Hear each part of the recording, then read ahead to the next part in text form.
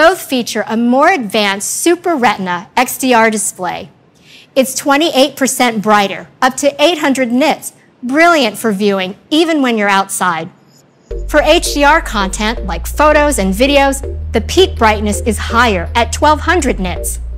And you can enjoy the pixel precision brightness for longer thanks to the display's improved power efficiency.